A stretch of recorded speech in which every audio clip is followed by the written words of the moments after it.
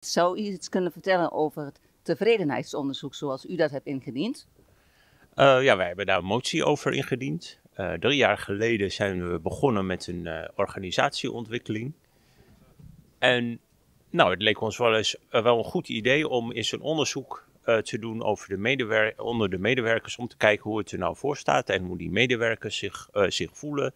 En, en hoe dat eigenlijk allemaal gaat in de organisatie.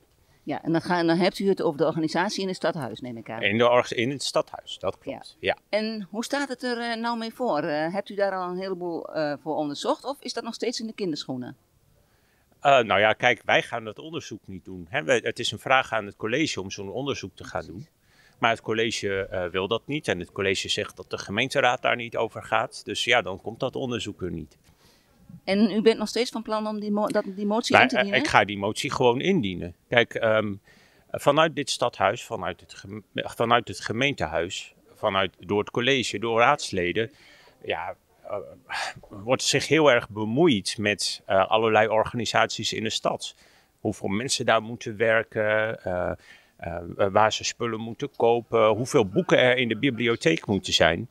En ja, uh, dan mogen wij ons niet bemoeien met een gemeentelijke organisatie. Ja, dat vind, dat vind ik heel erg merkwaardig. Dus al, als je je allemaal met al die andere organisaties mag bemoeien, dan mag je je ook met deze organisatie bemoeien, lijkt me zo.